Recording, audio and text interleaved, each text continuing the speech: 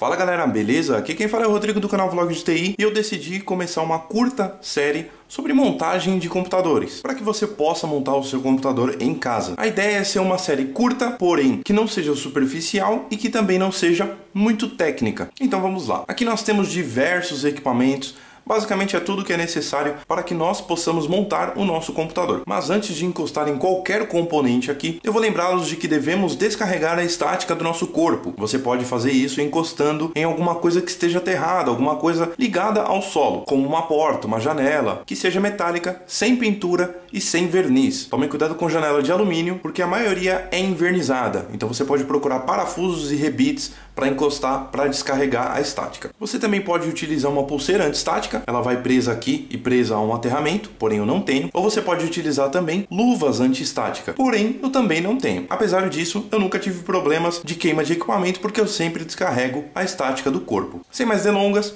vamos aos equipamentos. A primeira coisa que eu vou pegar para falar aqui para vocês é a placa-mãe. Basicamente, a placa-mãe é a placa principal do computador. Nela nós vamos conectar os pentes de memória RAM nesses slots. Podemos conectar uma placa de vídeo off-board, que seria opcional, dependendo da plataforma, que seria conectado aqui. E temos diversas outras conexões. Cada conexão eu vou mostrar durante o processo de montagem. Então, basicamente, a placa-mãe é a placa principal do computador e tudo vai conectado nela. Existem placas-mãe de diversas marcas diferentes e plataformas diferentes, como plataforma Intel e plataforma AMD. Se você pretende utilizar um processador Intel, sua placa-mãe tem que ser compatível com uma plataforma Intel. É impossível instalar um processador AMD em uma placa Intel e vice-versa. Depois da placa-mãe, temos aqui o processador. No meu caso, eu vou utilizar um i3 2120, que é um i3 de segunda geração, que já possui vídeo on-board. Aí entra a questão que eu falei para vocês, a placa de vídeo off-board é opcional. Se o seu processador tiver vídeo on-board e você precisar de gráficos melhores, você for rodar alguma coisa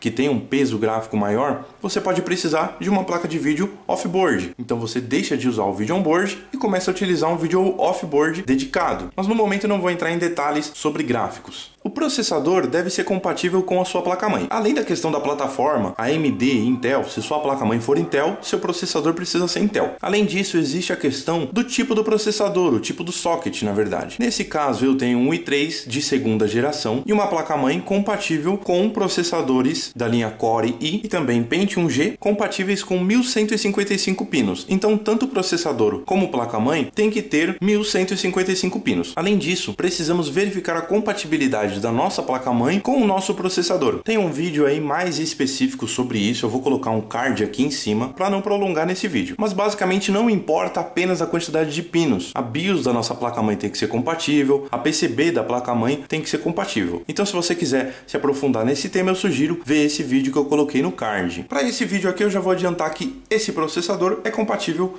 com essa placa-mãe. Aqui temos o cooler do processador o cooler também tem que ser compatível com a plataforma. Um cooler de LGA 775 não é compatível com um LGA 1155, porque o tamanho da furação na placa é diferente. O cooler é basicamente um conjunto de um dissipador metálico com o fan, que seria essa parte móvel. Aqui temos a pasta térmica, que é uma pasta que vai melhorar a condutividade térmica entre o processador e o dissipador. Então ela vai ficar entre os dois. Temos aqui uma placa de vídeo, como eu falei para vocês, é uma questão opcional e cada placa de vídeo tem um desempenho gráfico diferente. Por isso existem placas mais baratas que são de entrada, como no caso dessa, e existem placas mais caras que têm um processamento gráfico muito melhor, geralmente indicadas para rodar jogos. Isso não significa que uma placa de entrada não rode jogos, mas que ela vai conseguir rodar apenas os jogos mais leves. Os mais pesados vão exigir mais processamento gráfico. Agora temos aqui um pente de memória RAM. Esse pente de memória RAM é um pente de 2 GB de memória DDR3.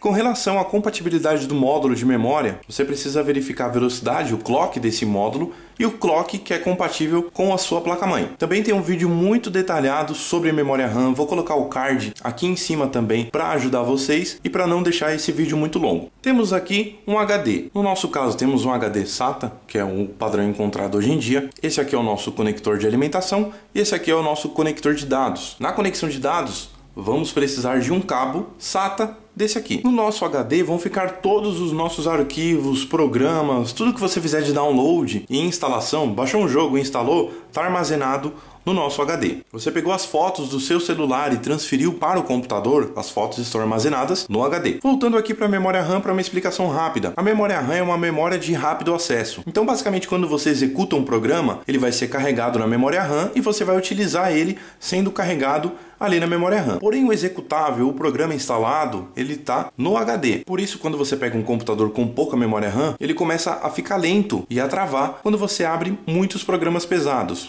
porque a memória RAM está saturada. Aí entra uma questão de memória virtual, que não é um assunto para esse vídeo. Temos aqui uma fonte. Essa é uma fonte genérica da Leadership que eu não recomendo. No mercado de fontes existem fontes genéricas, onde apenas um dos pontos para exemplificar. Você compra uma fonte que diz ser de 500 watts, mas na realidade ela tem uma potência real de 220, 230, 250 watts. E ela tem picos de até 500 watts. É uma fonte genérica, que são fontes de baixa qualidade. E também existem as fontes reais reais. Como eu falei para vocês, eu vou utilizar essa fonte apenas para exemplificar toda a conexão, consigo mostrar funcionando, mas não é recomendado manter o uso dia a dia de um computador com uma fonte genérica. No caso do meu computador que eu utilizo todos os dias, eu tenho uma fonte real, uma fonte de boa qualidade. Uma fonte ruim pode danificar os seus componentes, pode não ter as proteções necessárias contra raios, contra oscilações de energia e assim por diante. Mas esse também não é o objetivo geral deste vídeo. Com essa fonte eu vou conseguir mostrar para vocês como fazer a parte de conexão.